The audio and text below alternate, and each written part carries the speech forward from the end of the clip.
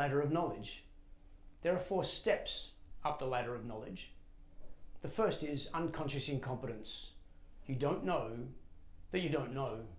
Next comes conscious incompetence, where you become aware of your lack of knowledge. Following this, in seeking the knowledge, you move to a point of conscious competence. This step is referred to as the cycle of learning.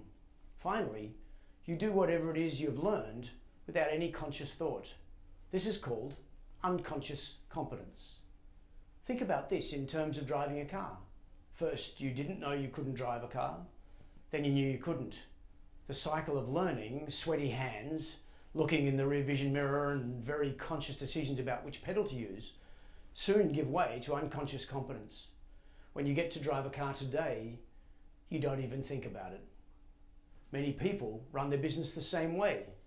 When someone says, I can't find people who can do it as good as I, it means that plans, systems and processes are all in their head.